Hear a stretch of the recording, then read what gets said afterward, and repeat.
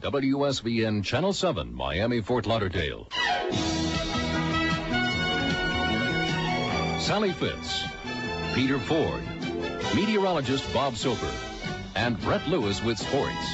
This is the 6 o'clock hour of News Center 7.